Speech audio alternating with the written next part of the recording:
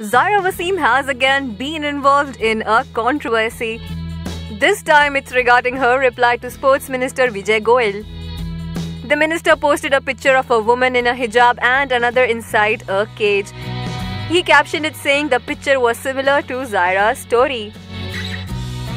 Zaira gave a brave reply to the sports minister and requested him to not connect her with such a discourteous depiction. She said that the story is not even remotely similar to hers. Also, Zaira believes that women in hijab are beautiful and free. This is the second time in the recent past Zaira is involved in a controversy. She had recently apologized for meeting Chief Minister Mehbooba Mufti. So, guys, what do you think about Zaira's reply to the minister? Do drop a comment below.